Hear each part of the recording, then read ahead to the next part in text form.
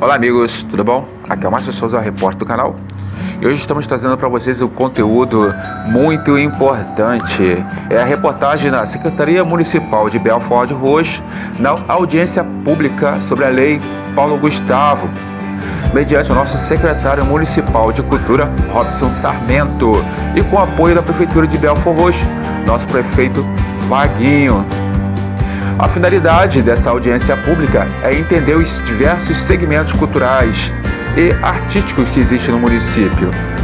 Bem, a diversidade cultural representa o conjunto das distintas culturas que existem no planeta. A cultura em si compreende o conjunto de costumes e tradições de um povo, os quais são transmitidos de geração em geração.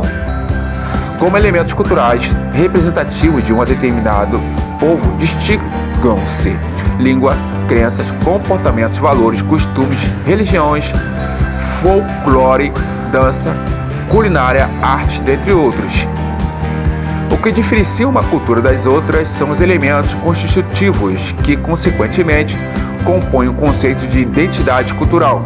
Isso significa que os indivíduos pertencentes a determinado grupo se identifica com os fatores que determinam sua cultura.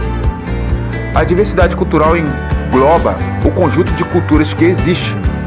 Esses fatores de identidade distinguem o conjunto de elementos simbólicos presentes na cultura e são eles que reforçam as diferentes culturas que existem entre os outros seres humanos.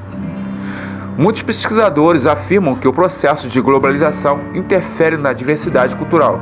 Isso porque há um intenso intercâmbio econômico e cultural entre os países, os quais muitas vezes buscam a homogeneidade.